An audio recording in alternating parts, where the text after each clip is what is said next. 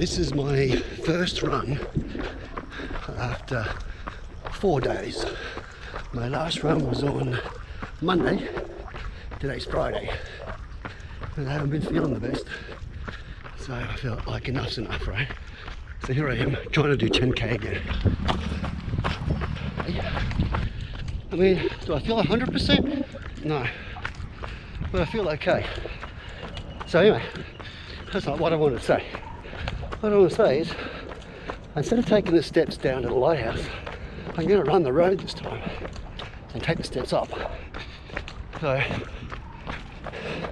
probably not a big deal. But for me, it's a big deal.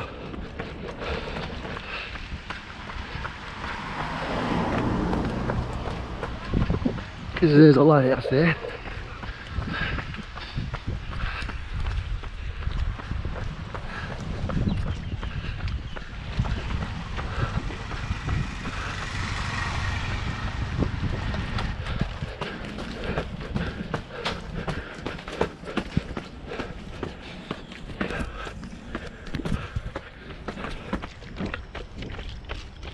From a lot of places.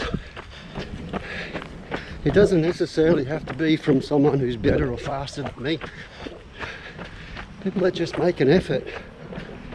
You know, just now a guy ran past me.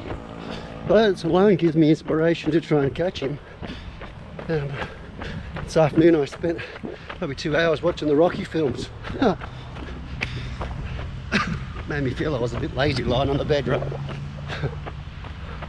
Dogs are hanging around here because somebody comes down and feeds them. See them all? And they live wild. There's water for them. And over here's a little little pouch here for food, you see? It was just too it was too heavy with water and the water was dripping down on my shorts and going into my shoes. So anyway, other people have got their shirts off, it's not a big deal I'm sure.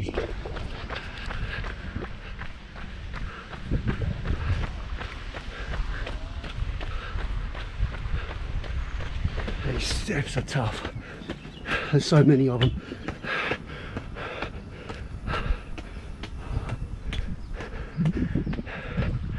Hundred meters to go. I got about six minutes five and a half minutes to complete it to keep it under an hour. Let's see, let's see. It's not a competition as dad says. Alright, so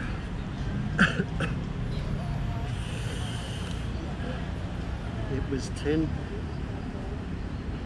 10.02 so about the same distance 5705 so